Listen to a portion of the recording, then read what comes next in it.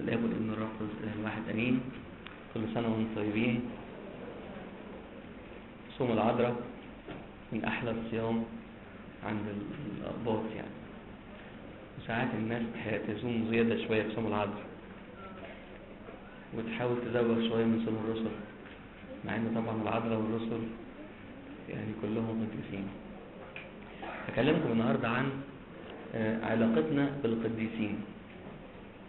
علاقتنا بالقديسين إزاي المفروض تكون علاقة صح وتكون حاجة مساعدة لينا في حياتنا الروحية؟ أسألكم سؤال لما واحد بيتنيح يعني لا سمح الله أو عموما لما الروح بتطلع أول ما بتطلع بتروح فين؟ بالتحديد كده بتروح فين؟ مكان بنسميه إيه؟ الفردوس أو مكان الانتظار. طيب الفردوس ده لكل الناس ولا مش لكل الناس؟ كل الناس كل الناس أشرار وأبرار. الكويسين يروحوا الفردوس. واللي عملوا حاجات مش كويسة يروحوا فين؟ اسمه إيه بقى؟ اسمه الجحيم الهوية دي لسه شوية. عايز أقول لكم إيه الفرق ما بين الفردوس والأبدية؟ إيه الفرق ما بين الفردوس والأبدية السعيدة؟ الفردوس ده مؤقت.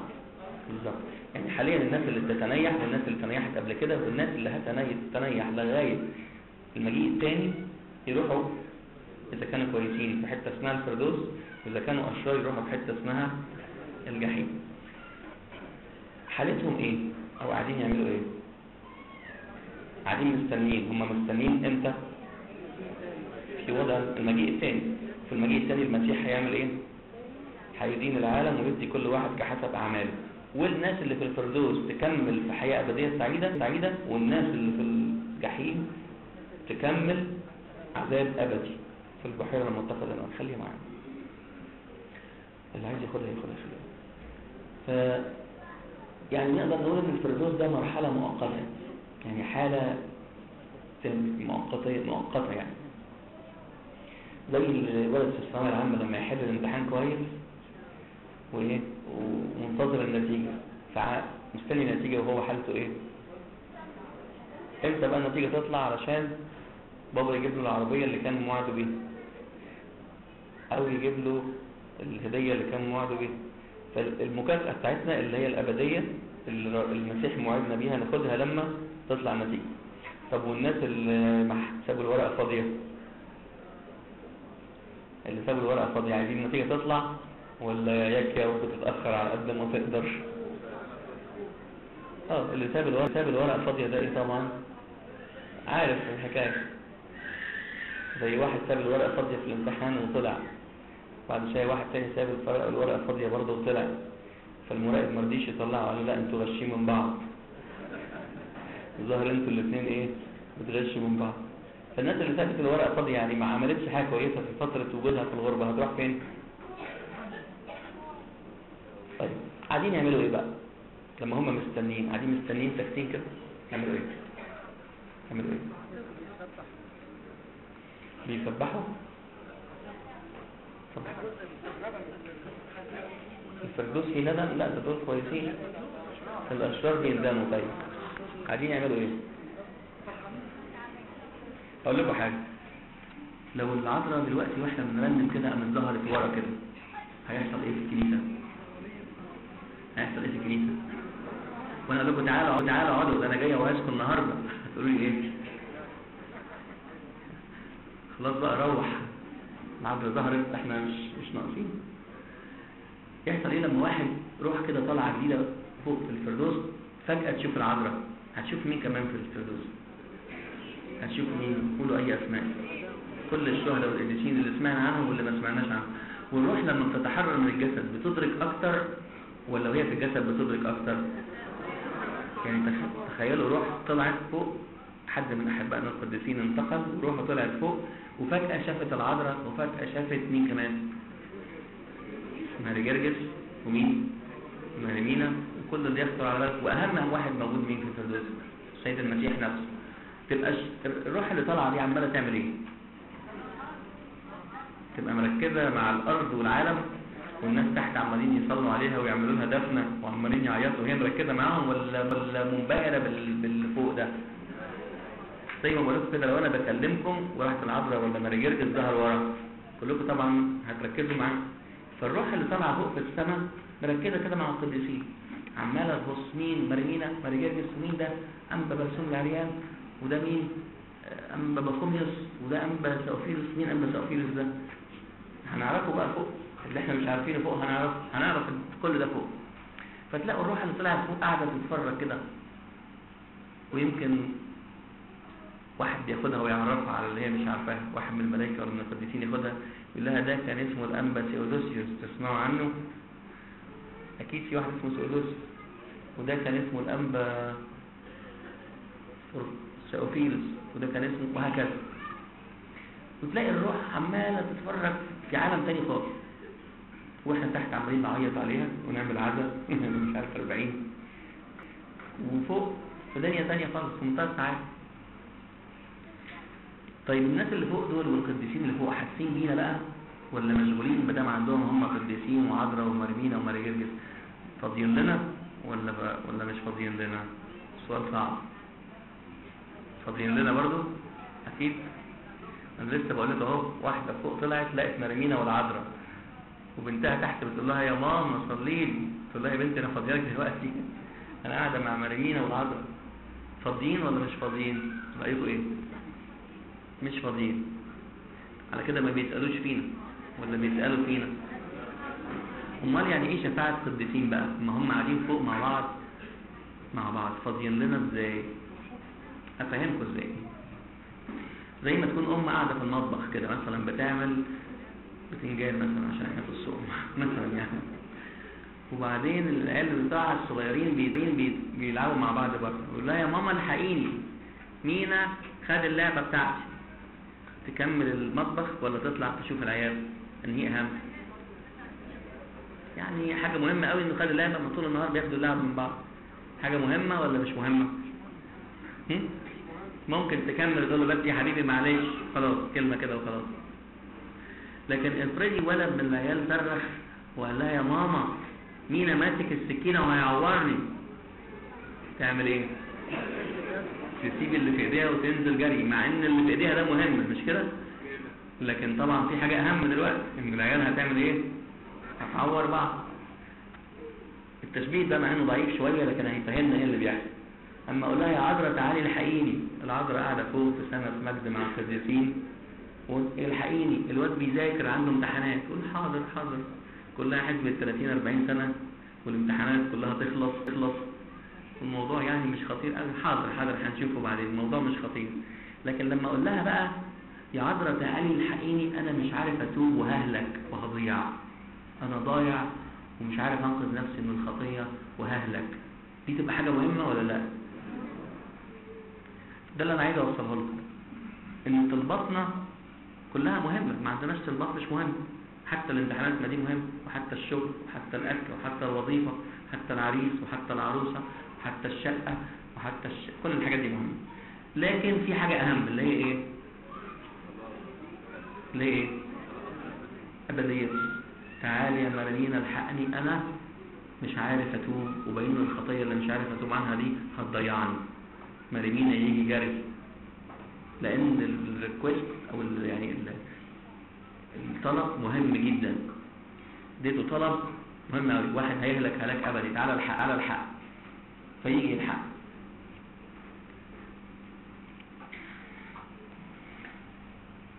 مرة عشان نقدر أهمية الفردوس ده في قصة لطيفة حصلت مع أبونا مخيل إبراهيم اسمه عنه القديس المتنيح بتاع بتاع ماري مرقس شوبي أبونا مخيل إبراهيم كان قديس. ابنه مات. كان عنده ابن برضه اسمه إبراهيم مات. وكان في ناس شايلين عنده ورق بتاع أرض حجة أرض يعني قضية ونزاع على أرض حاجة مهمة كده. فادوا له ورق القضية قالوا له أنت أحسن واحد يا ابونا نأتمنك على الورق ده. فابونا عشان عنده الورق والدنيا ورق كتير فعشان الورق ما يضيعش قام اداه لابن إبراهيم. قال له يا ابن إبراهيم شيل الورق ده عندك لما اطلبه منك ساعة القضية.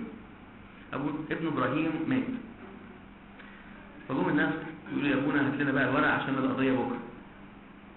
فقال يا نهار أبيض الورق اديته لإبراهيم وإبراهيم مات. قال لهم إيه؟ فواقف بيصلي مع ربنا كده وبيتصارع بيتصارع معاه في الصلاة بالليل. ده كان راجل قديس ابونا إبراهيم يقول له يعني يا ريتك يا إبراهيم يا ابني كنت عايش دلوقتي كنت دلتني الورق فين؟ فبص لقى ابن إبراهيم ده جه. يقول له الورق في الحتة الفلانية. أنا شايله في الحتة الفلانية. بص بقى عمق قداسة أبونا مخيل قال له إيه قال له أنت سايب الفردوس والمجد اللي فوق وجاي عشان تقول لي شوية ورق فين؟ يا ابني ارجع بسرعة يا ابني ده إحنا ما صدقنا وصلناك. جاي سايب العز اللي أنتوا فيه فوق وجاي لي أنا عشان تقول لي ورق قضيه قضية إيه وبتاع؟ إيه يا ابني مش مهم. قال له لا ما هو أنت لما طلبت ام يعني زي ادوني اذن يعني إن أنا عشان أنت كاهن. قال له طب امشي بسرعة اطلع فوق. شايفين يعني قد إيه هو راجل مفهوم الفردوس عنده بقى حد يسيب العز ده كله وينزل عشان يقول لي ورق بتاع قضية. ارجع يا ابني بسرعة. قال له لا انت لازم تحللني اصل انت كاهن. تحللني ارجع ارجع قال له الله قال لك ارجع اتفضل. فرجع تاني. قصه نظيفه قوي مكتوبة في كتاب عنه مكتوبة باختصار وسمعتها من ناس كانوا مقربين لي يعني آه، معناها إيه القصة دي؟ معناها إن هذا الشخص مدرك قد إيه الفردوس ده جميل وممتع وإن الناس تروح الفردوس ده تبقى عايزة مش عايزه ترجع. طب حلو قوي إحنا علاقتنا إيه بالقديسين؟ أنا قلت أول نقطه أهم حاجة في علاقتنا بالقديسين إنهم يعملوا لنا معجزات. هي دي الحتة اللي أنا عايز أوصل لها. لا أهم حاجة إننا نخليهم يساعدونا في حياتنا الروحية. واخدين بالكم؟ احفظوا النقطة دي. النقطة اللي إحنا بنتجه ليها كلنا غلط أهم حاجة في علاقتنا بالقديسين يقضوا لنا مصالح يحلوا لنا مشكلات بطريقة سحرية اسمها المعجزة مش عارفين نحلها. فمرمينا يعمل كده مش مشكلة تتحل. بس. والتاني تبقى علاقتنا بيهم علاقة منفعة مادية. وعشان كده هم برضو يعني بيستفيدوا من العلاقة دي في إنهم يوجهونا للتوبة. ما بيكسفوناش حتى لما بنطلب حاجات زي كده يقول لنا طيب عشان أنتم يعني مش قادرين تفهموا إن إحنا المفروض نعمل حاجة أهم إن إحنا نجهزكم للأبدية فإحنا هن يعني هنقضي لكم الطلبات دي بصورة مؤقتة لكن إحنا بنحاول نوصلكم إن تفهموا إن إحنا ممكن نعمل حاجة أهم.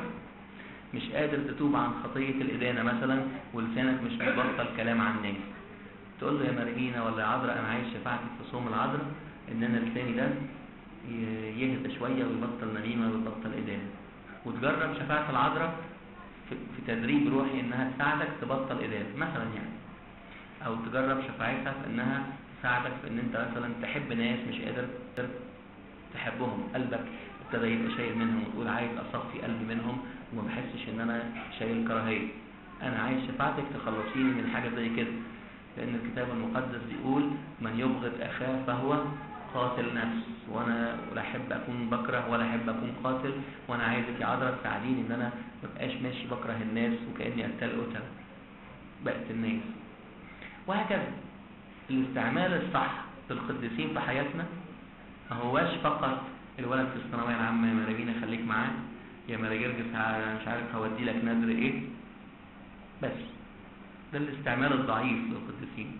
إنما الاستعمال القوي للقديسين هو إيه نمرة واحد؟ في حياتنا الروحية أيضا ما بي ما بي ما بي يعني ما بيسلمش الأمر أو ما بيستغناش إن إحنا في حياتنا العادية برضو بنحتاج شفاعتهم وبنحتاج مؤازرتهم وبنحتاج قوتهم.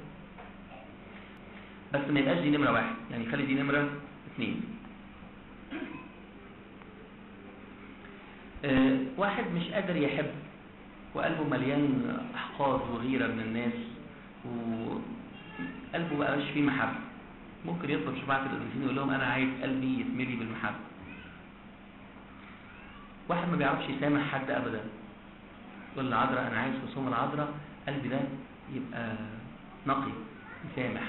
مش كل واحد عمل فيه حاجة يفضل شايلها له وكرهه ومنين ما يشوفه مش طايق يشوفه ويقعد كده جواه يعني شبه بيدعي عليه. عايز قلبي يبقى نقي. سمعت قصة لطيفة وعرفت إنها واقعية. مكتوبة في كتابات أبونا تدرس بس بتصرف لكنها واقعية أصلا يعني.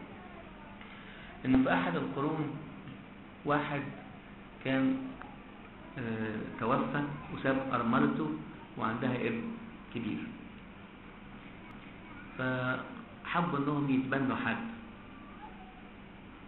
فراحوا اتبنوا فراحوا في الأحداث عارفين بتوع الأحداث اللي بيبقوا صغيرين ولكن عملوا جرائم كده أو حاجة وخدوا طفل صغير وضموه ليهم.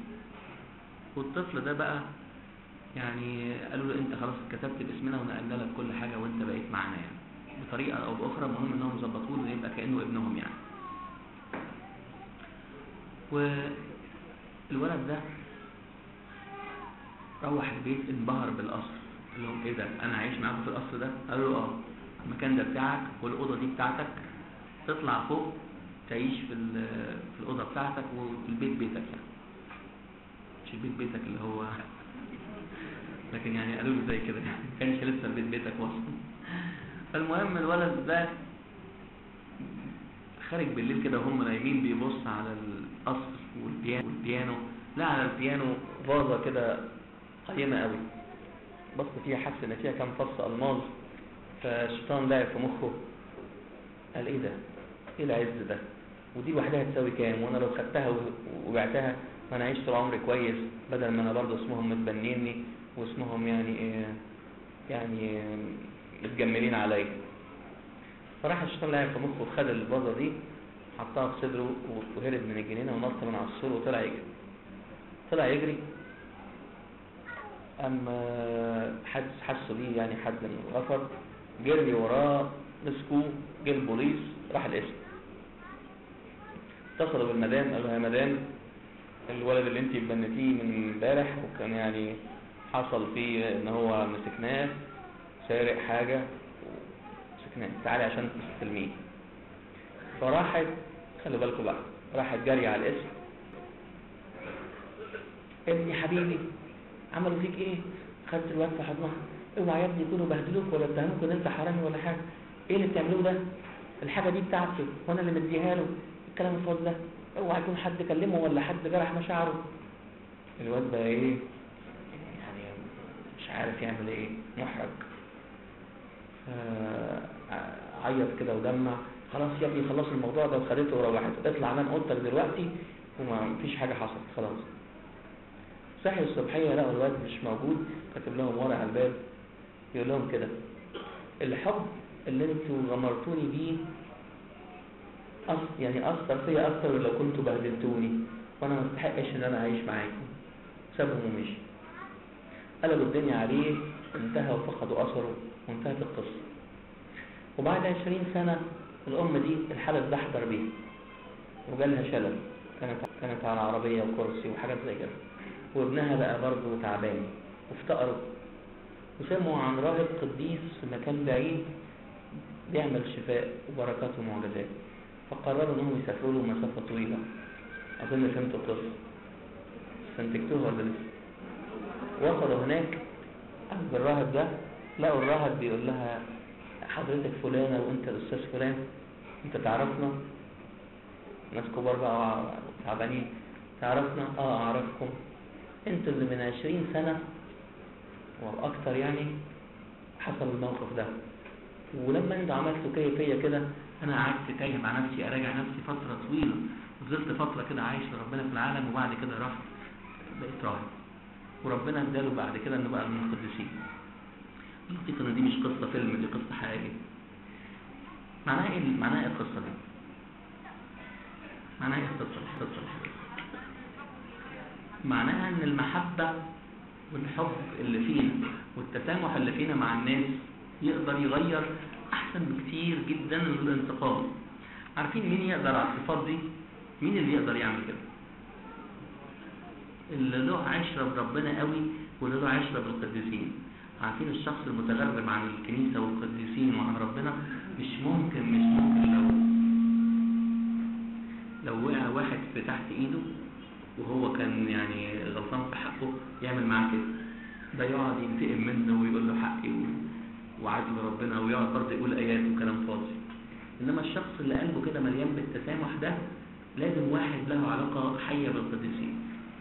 البابا كرولوس آه، في واحد من الناس الكتبة الصحفيين هو أيام ما كان البابا كرولوس قبل ما يبقى بطرك راح حاجمه كتير قوي في الجرايد.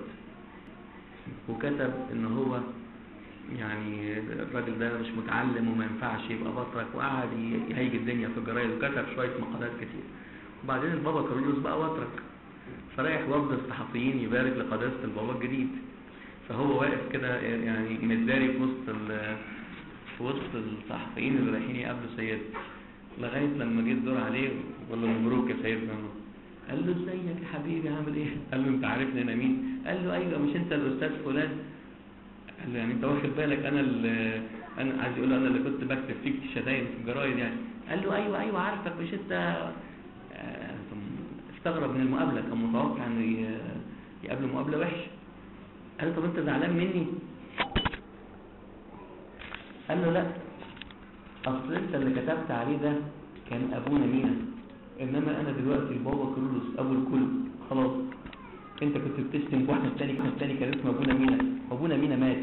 اللي معاك دلوقتي ده واحد تاني اسمه بابا كرولوس. أبو الكنيسة كلها. وما ينفعش أبو الكنيسة كلها يبقى زعلان مع ده وزعلان مع ده. قال له يعني أنت سامحتني؟ قال له طبعا. وصار هذا الرجل صديق شخصي للبابا كرولوس بقيت عمره ما يعملش خطوة في حياته إلا لما يستشير بابا كرولوس. كذبه بإيه؟ بالمحبة وإيه؟ والتسامح. خلوا بالكم ان الشخص اللي بيسامح دي صفة مش ممكن تكون موجودة عند واحد متغرب عن محبة ربنا. أصعب حاجة إن الواحد يسامح من قلبه ويبقى فعلا مش شايل والحب. يمكن عندنا صفتين في المسيحية كل ما تقرب من العذراء والقديسين يتغرسوا فيك وتزيد. يعني هي كمال المحبة وكمال التسامح صعب. لكن ننمو فيهم كل ما نقرب لربنا وكل ما نقرب للقديسين. تزيد المحبة تلاقي تلاقي الشخص ده عنده حب. كل اللي يقرب للقديسين ويقرب لربنا تلاقيه مليان محبة. تحس إن أنت تشوفه يعني تحس إن أنت بتحبه وهو بيحبك وانت يمكن ما تعرفوش بعض. كان في مرة أحد الكهنة حصلت معايا أنا دي. كنت رايح أقابله وأديله ظرف. أحد الكهنة قال لي تعرف أبونا فلان؟ قلت له قال لي معلش أنا عندي حاجة مهمة عايزك تديها له.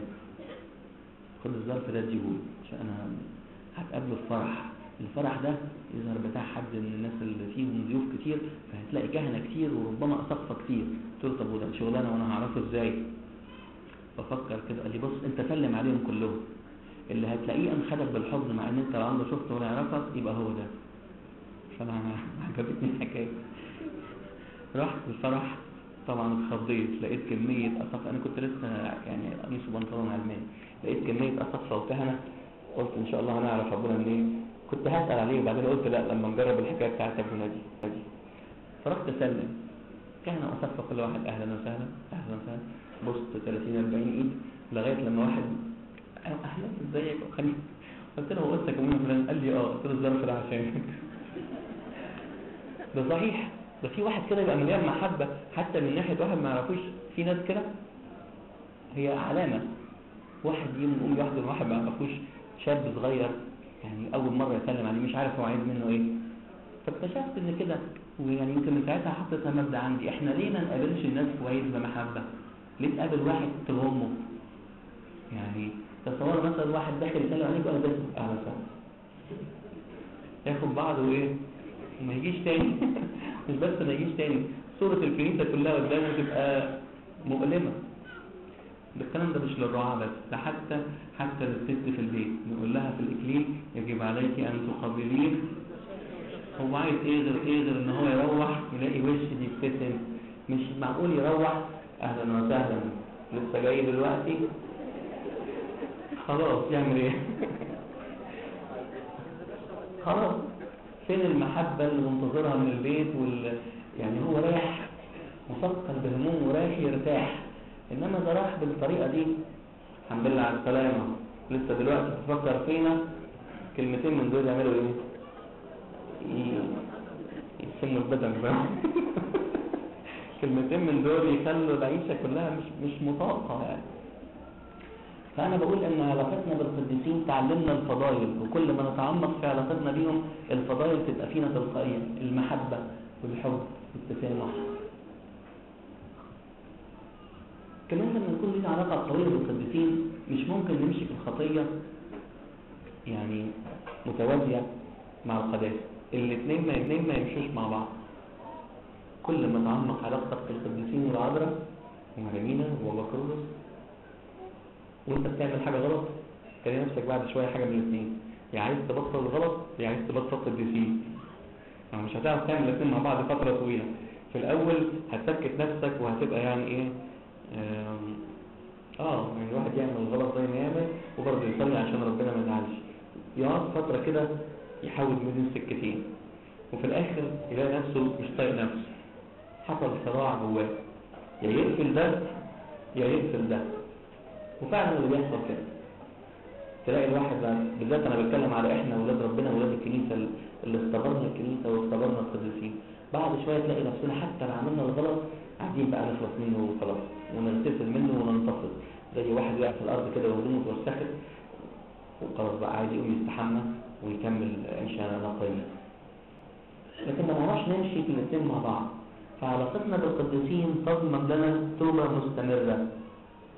طول ما إحنا على علاقة بالقديسين تضمن لنا توبة مستمرة. أصل التوبة دي ما بتبقاش بتاعت مرة واحدة آه، وعدت واحد يتوب مرة و خلاص. كل شوية عايزين نغتسل بالتوب علشان كده في توبه مستمرة في توبه متكررة في اعتراف متكرر. الواحد مش بيعترف مرة وبيلاقي نفسه بعد كده مش لاقي حاجة يقولها. هو بس أول مرة بيطلع الحاجات الكبيرة اللي كاتمة على نفسه. لكن بعد كده هيلاقي كلام كتير محتاج تنقية ومحتاج إن هو يشوف. ما بيبقاش عينيه شايفاه في الأول وهو علاقته سطحية بالكنيسة وبربنا ما بيبقاش عينيه مدركة إيه كل الغلط ده. لأنه حاسس إنه أنا بيقارن نفسه بالناس اللي هم أقل منه. يعني إيه مثلا؟ يعني واحد واحد في المدرسة فيها 50 فصل. يطلع هو 45 يوم يجيب الخمسة التانيين اللي وراه لهم يا جماعة أنا أنصحكم تذاكروا شوية لأن أنتوا كده يعني دماغكم وحشة أوي. يروح البيت يقول لوالده ووالدته تصوروا فلان طلع 48 وحش أوي. مش عارف أنا لازم إيه ما بتذاكرش ولا إيه؟ وهو يبقى كويس أوي. ليه؟ لأن هو طالع النمرة كام؟ ما بصش لل 45 اللي قبليه بص لمين؟ فإحنا ساعات روحيا بنعمل كده. ساعات الواحد مننا روحيا يقارن نفسه بمن هم أضيع منه. فيقول لك أنا كويس قوي الحمد لله. تقول له أنت محتاج تيجي تصلي كده يقول لك الحمد لله يا أبونا إحنا كويسين. ده في ناس غيرنا ما بتعرفش ربنا. لو ما تعرفش ربنا دي تعمل إيه؟ يقول لك لا لا لا. أنا صحيح ما باجيش الكنيسة غير يوم الجمعة يوم الجمعة الكبيرة ولسه أبو غرامسيس متعود أحضرها. إنما ده في ناس بتقعد بالخمس والست سنين ما تجيش الكنيسة. أقول صحيح عندك حق. ما أنت ما لقيتش غير واحد اخر منك تقارن نفسك بيه فتحس إن أنت يعني بطل. لكن عايز أقول لك إن في ناس عايشة مع ربنا طول النهار. قارن نفسك بدول. عشان كده الكنيسة لما حبت تحط لنا مرجع نقارن بيه نفسنا في القداس بنقرأ السنكسار نقرأ فيه عن مين؟ ناس قمم لدرجة إن إحنا ساعات بنقول لا دي حاجة تعقد. إيه ده؟ بس إحنا بنقول لك خلي بالك لحسن أنت تجيب لي ناس من عندك تعملهم في السمسار بتاعك وكل يوم تقارن نفسك بجارك اللي هو مثلا بيعمل خطايا وحشة قوي تقول الحمد لله أنا ما بعملش الحاجات دي. إحنا لا بنسرق ولا بنظلم حد. إحنا بس يا دوب بس إيه ما بنصليش وما بنقراش في الإنجيل وما بنجيش الكنيسة وما بنتناولش إنما الحمد لله ما عن- ما عندناش مال حرام. هكذا. كل واحد يدور له على حاجة ما عملهاش ويريح نفسه. يبقى هو طالع ال 45 فإحنا في كنيستنا بتقول لك علشان تحس قرب من القديسين تقوم تكتشف نفسك. كل ما تقرأ عن حياة العذراء وعن حياة مريمينا وماريجل قديسين كتير كل يوم في السنسار تكتشف إن أنت آه، المفروض قدامك جهاد كبير قوي لحسن أنت تجيب القديسين بتوع الشارع بتاعكم وتقارن نفسك بيهم فتقول الحمد لله الحمد لله أشكرك يا رب. إحنا ما بنعملش زي فلان وما بنعملش زي علان وما بنعملش زي علان. وتبقى أنت كده بتخدر نفسك. عارفين اللي يخدر نفسه؟ زي اللي ياخد مخدر كده فيتهيأ له إن هو الحمد لله. أشكرك يا رب. هو بيضيع. علاقتنا بالقديسين دايما تحسسنا بالغربة. الغربة يعني إيه؟ إحنا هنعيش قد إيه في الدنيا دي؟ أقول لكم إن شاء الله أقابلكم في نهضة العذراء سنة 2085 تضحكوا طبعا كلكم. انت انت إن شاء الله هتكون موجود سنة 2085 وكلنا هنكون موجودين انت إن شاء الله لو جيت هنا في رابطة القدس احتمال تلاقيها اتنقلت القدس مثلا حد عارف سنة 2085 هيكون حصل إيه؟ يمكن الرابطة تبقى رابطتين ثلاثة مش كده بيقولوا إبراهيم؟ حد عارف سنة 2085 هيكون حصل إيه؟ يعني إحنا عايشين كام سنة؟ العمر الافتراضي بتاعنا كام سنة إن شاء الله؟ إحنا عايشين بنلعب في الوقت الضايع. يعني العمر الافتراضي ما كانش خلص فما فضلش كتير. دي حقيقة. كلنا بنزيف الحقائق نقول لا تعيش ل 100 سنة و200 سنة و300 سنة لكن بصراحة بصراحة متوسط الأعمار لما واحد بيعيش فوق المية بالمية بنقول ده عايش. وتبقى حاجة يعني ريكورد يعني. لكن يعني طب وإحنا وصلنا لغاية كام؟ فاضل كام؟ لو حسبناها كده هنكش. الله الله انت جاي تخوفنا لا أنا جاي أقول لكم الحقيقة. الحقيقة إن ما فاضلش كتير. طب ولما ما فاضلش كتير امال بنضيع وقتنا في خناقات وفي كلام فاضي ليه؟ لما ما فاضلش كتير بنضيع وقتنا في كلام فاضي ليه؟ يعني هل تتصور واحد النهارده الدكتور يقول له يؤسفني أقول لك إن حضرتك فاضل لك كده زي ست أشهر. يقوم يقول إيه؟ الحق بقى اكمل خناق مع إخواتي. لحسن ياخدوا الشقة. شقة إيه؟ ما ما الحكاية خلصت. الدكتور قال لك فاضل ست اشهر ده حتى لو كمل خناق مع اخواته احتمال يعمل إيه؟ لو لسه عايزين خدوه خدوه بلاش كلام فاضي بقى خلاص. وحصلت زي كده قصص كتير. قلت لكم في الزلزال بتاع 92 مرة حصل إنه الزلزال بتاع الزلزال بتاع 92 كان في واحد وأخوه قاعدين بيتخانقوا في شقة على شقة عند المحامي. والاثنين عمالين يزعقوا عند المحامي. الشقة دي من حقي. يقول له محامي عمال بقى ياخد من هنا وياخد من هنا وهياخد من ده وهياخد من ده وهيعمل قضية. والراجل بيخبط إيده على المكتب لقى الدنيا بتتدربك افتكر إيده هي اللي. وبعدين طلع في إيه؟ زلزال. زلزال فاكرين سنة 92 حضروا بعض وقعدوا يعيطوا يقولوا شوفوا الدنيا والكلام الفاضي. هنبهدل بعض عشان شقة. وإحنا الاثنين كنا هنموت. الدنيا كلام فاضي. وتنزلوا عن القضايا ونزلوا ايديهم في ايدين بعض وروحوا اتغدوا مع بعض. بعد أسبوعين لا مفيش زلازل تاني. رجع كل واحد رفع القضية بعد. اكتشفوا يعني إن إيه؟ ما دام مفيش زلازل نكمل خناق بقى. هو كده. بالظبط القصة دي بتدينا معنى واقعي إن لما بيكون الأبدية قدامنا بنستهون بأي حاجة ولما بننسى ونتخيل إننا هنعيش كتير نكمل خناق ونطلع نطلع في روح بعض بقى ما دام ما وراناش حاجة. فاللي يبص على الأبدية يلاقي نفسه العيشة بقت سهلة. فلان ده هيضايقك. مش كلام فاضي هات تعالى الواحد كده بيموت ويقول له فلان ده متغاظ منك وهيعمل فيك؟ يقول لك إيه؟ سيبك مني؟ مش كلام فاضي أنا دلوقتي بس عايز أقابل ربنا. والجميل عندنا إحنا إن إحنا عينينا على الأبدية. فحتى في اللحظات الأخيرة من العمر عينينا على الأبدية. مشتاقين إننا نروح الأبدية. مش خايفين. شفتوا آية الله الخميني لما تنيح كان عامل له صورة في الأهرام. أنا كنت قصد الجورنال ده محتفظ بيه. وشي كان الصورة كده جاية على وشه ومركزة كبيرة قوي على وشه واحد مرعوب كده زي باصص على بلاعة مثلا رايح فيها ومش عايز يروح. واحد مصعوب كده ومشاعر وش كلها رعب. رعب شوفوا القديسين لما بيتنيحوا عندنا بتبقى مشاعرهم إيه؟ ووشهم شكلها إيه؟ يقول لك ده كان وشه منور وهو بينتقل وكان فرحان وشايف رايح فين وابتدى ينادي معرفش على مين وابتدى يبقى في منتهى السعاده وانتقل وطبعا ال- اللي هو مش هيروح الفردوس أول ما عينه بتتكشف كده في الآخر وهو رجل بره ورجل جوه بيبقى يعني نفسه يرجع بس مش بايه دي الحقيقة. فالقديسين يساعدونا على ال- الشعور بالغربة والشعور بالغربة ده تدريب عاش فيه القديسين كتير. طول ما أنا حاسس إن أنا مش هعيش كتير سهل سامح سهل احب سهل أتنازل عن حاجة ما أطمعش بحاجة مش بتاعتي. حتى الخطية والشهوة تبقى يعني تيجي واحد بتموت وتقول له تعالى النهارده في خطية ولا في شهوة يقول لك إيه الكلام خلاص. دايما اللي عينه على الأبدية وعينه على الغربة محاربة الخطية بالنسبة له سهل له سهل. مش بيجد صعوبة في الصراعات أما اللي مش عارف بعد كده رايح فين مطامحه أرضية مش فاهم حتى لو اديله عمره هيعمل بيه إيه. كان أحد الممثلين المشهورين عاملين معاه ريبورتاج في جريدة وهو بيموت. بيقول لو عشت إن شاء الله تحب تعمل إيه؟ قاعد يفكر وهو بيطلع في الروح. قال لهم أعمل فيلم جديد أستخدم فيه الأسلوب اللي مش عارف إيه في الإخراج. وخلص كلامه مات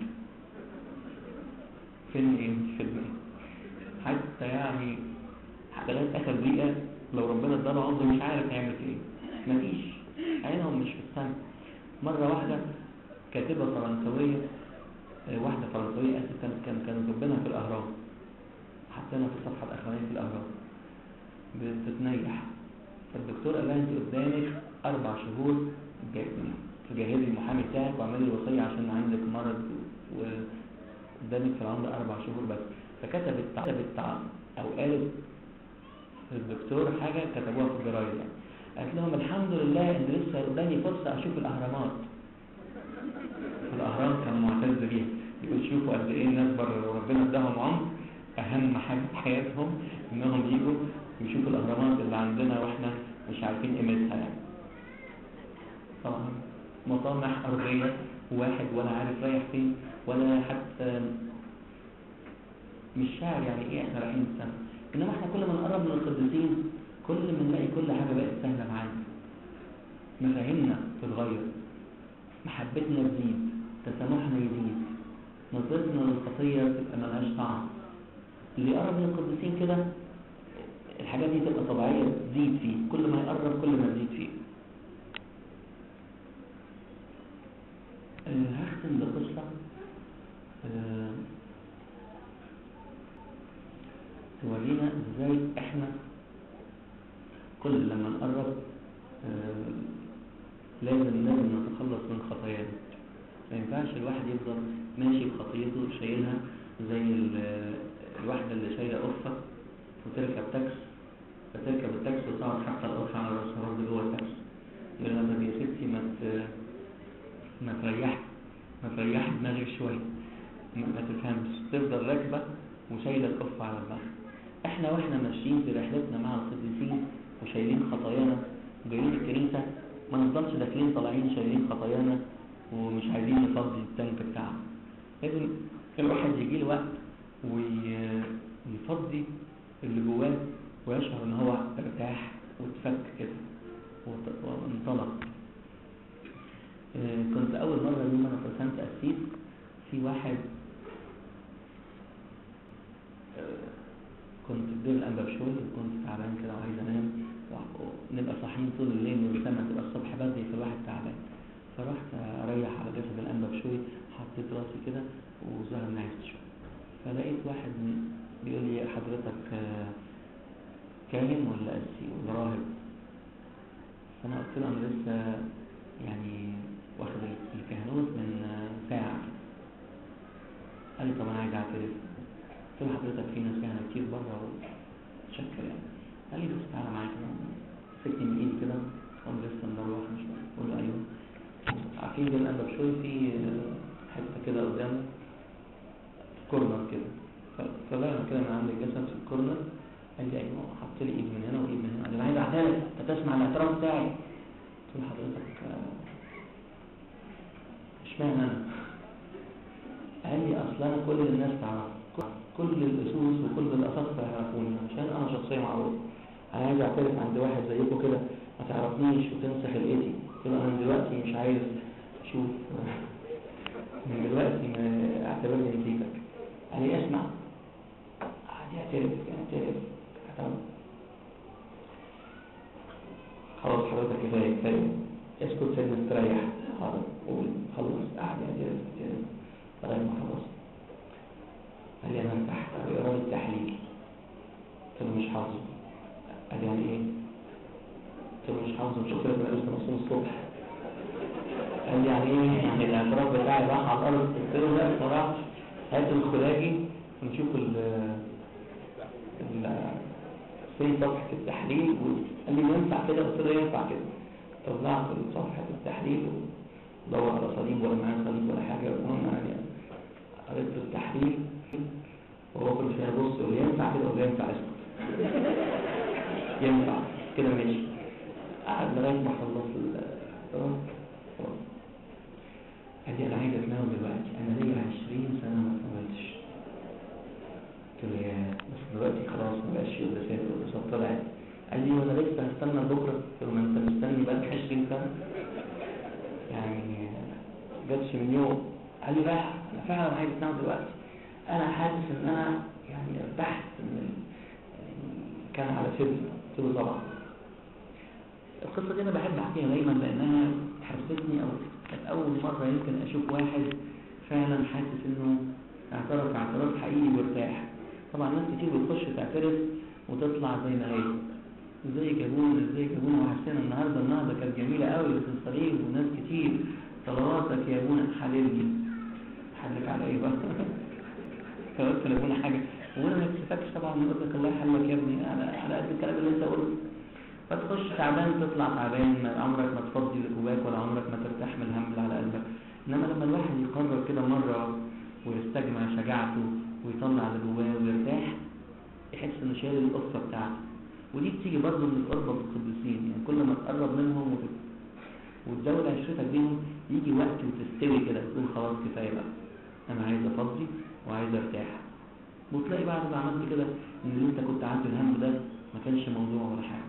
بس الشيطان بيهول لك القصة إن أنت تقعد عارف الهم الكلام والاعتراف فتفضل مثقل باللي أنت مثقل فيه.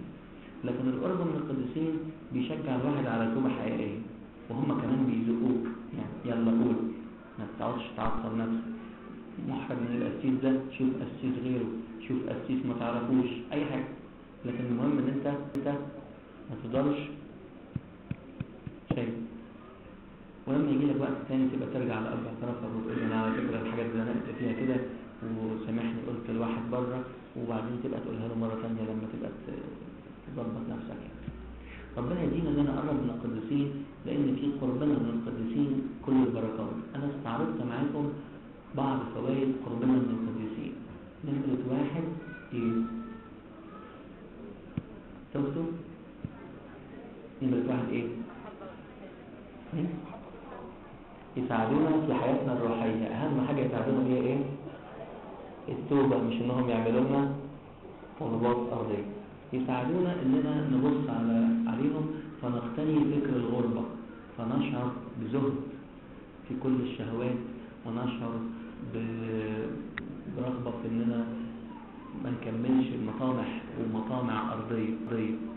يساعدونا القديسين على إننا آه، نحب. لما تقترب منهم صفاتهم تبقى فيك. تعرف تحب تعرف تسامح تعرف المحبة تزيد فيك والتسامح يزيد فيك وكل الصفات تزيد فيك. لكن البعد عنهم أو أو التعامل معهم من خلال معجزات بس. إيه آخر معجزة يا أبونا؟ سؤال مشهور الناس دايما تقول لأبونا إيه آخر معجزة حصلت؟ وكأنها حاجة لطيفة أوي. بعد ما تسمع المعجزة من هنا تروح تتفرج على التلفزيون. زي بالظبط العذراء لما كانت بتظهر في الزيتون والناس واقفة زحمة عليه وبعد ما يتزحموا يروحوا في البيت يعملوا إيه؟ مرة زمان واحد كان بيحكي سنة 68 ده كنت أنا صغير كده وعمال بيحكي والعذراء ظهرت وعملت كده والنور جه كده والعيال كلها قاعدة مبحلقة كده يعني بيحكي بقى عن العذراء وبعدين آه، المسيح نقل الحكاية لما طلع لما طلع يجيب علبة سجاير عشان يعرف يحكي كويس. فأول ما طلع علبة السجاير كل العيال جالها إحباط إيه ده؟ إحنا يعني كنا هو لقى حكاية بس كده للشد ولقى العيال مسدودة والعيال مجموعة حواليها عمال يحكي لها. ف بس. لكن هو ما تأثرش بحاجة. فأوعى تكون علاقتنا بالقديسين مجرد عايزين نسمع معجزات أو مجرد عايزين نشوف أنوار إنما اللي إحنا فيه بنبات فيه. يجب أن تكون علاقتنا ليها ثمر في إنها تغير حياتنا وتعدلنا لأبدية وإلا هتبقى علاقتنا بيهم علاقة سطحية. كل سنة وأنتم طيبين لله كل مجد وكرم للأبد. آمين.